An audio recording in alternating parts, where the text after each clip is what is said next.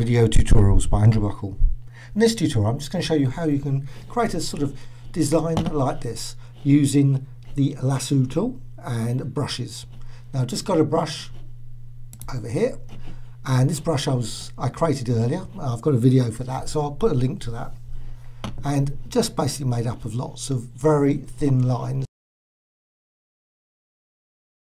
Next thing create a view and new guide layout. Going to go for 20 by 20. Of course you can go 10 by 10, 5 by whatever. So I'm just going to use this so I can snap to the various points. So I'm just going to go to the lasso and just click there and go across to that point and then up there, up there. Now add a stroke. So I'm just going to create a quick stroke for that and the brush I'm going to apply it and you can rotate the brush so just go there you can see the brush just rotate it just via this control. And you can apply it at different angles. So I'm just going to apply it there. Now to make it a bit easier I'm just going to go over to this down there and sometimes if you go too close it's very hard to actually see the actual brush stroke. So you just go across there there and there. And again apply selection that stroke and you can modify the size I go maybe six point and six pixels and select the brush again rotate. Now this can be a bit fiddly actually to be honest and just go backwards and forwards. So right just go different angles and it's just going that way now.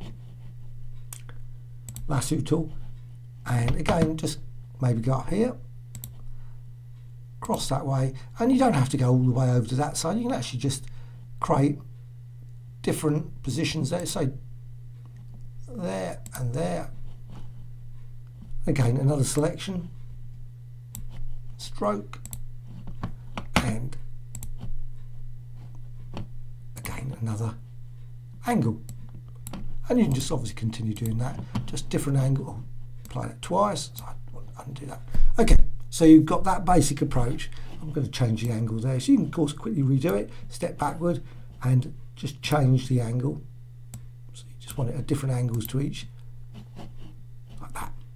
Right, and just basically go around each of these points. So just go from there to there, over to there, up there to there, and so on. So I'll just continue and create a few more. So I'm just going to go down there, up to there, and you don't have to make them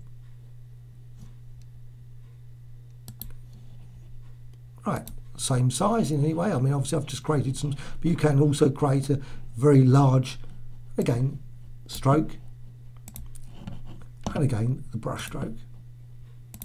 Rotate it, like that.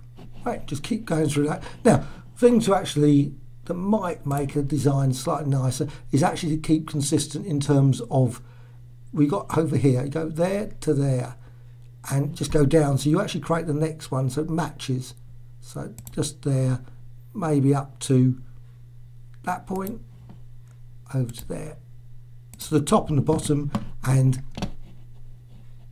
so again oops, edit stroke.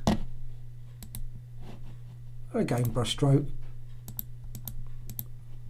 Rotate that again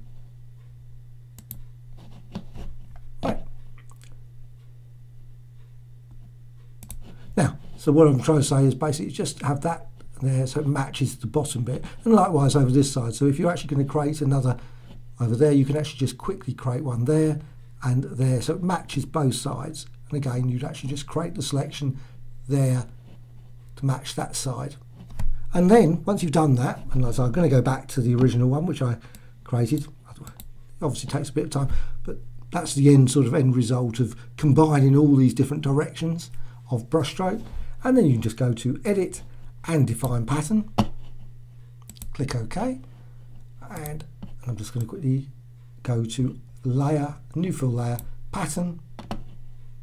Click OK and there you've got the design. So now you can change that to 50 and of course you can move that around combine them maybe add adjustment layers to recolor the design. Click OK now of course you can also use them in I'm just going to quickly create a selection So just quickly create selection and then just go to a layer, layer style and pattern overlay.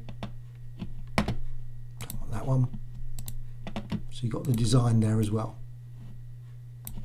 Also, of course, you can use them in as a texture as well. So just go in there and select that and then you've got the texture. Just move that over.